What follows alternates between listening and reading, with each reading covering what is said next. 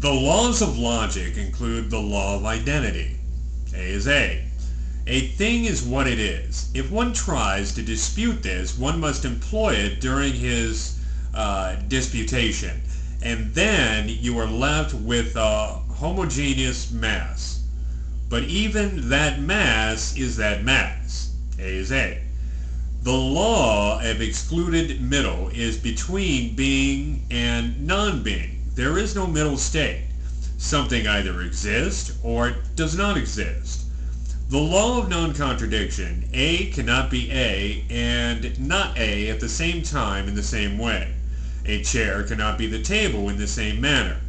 A thing cannot be at the one and same way.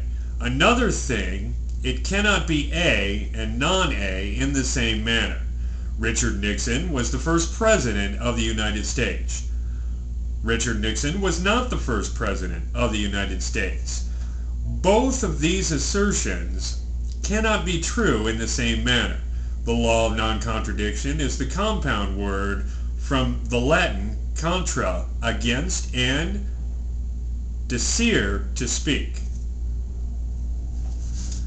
One can falsify a proposition by demonstrating it leads to a contradiction. An example is the following sentence. No one can speak a sentence with nine words. Well, I just did. So it is a contradiction. Atheism is not just riddled with contradictions.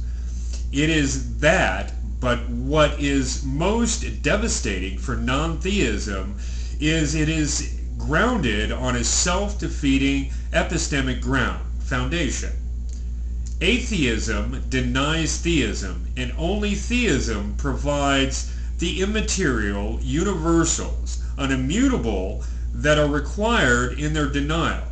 Atheism saws off the branch it rests in. The laws of logic necessitate God, and the atheist require the laws of logic. Atheism proves and presupposes theism.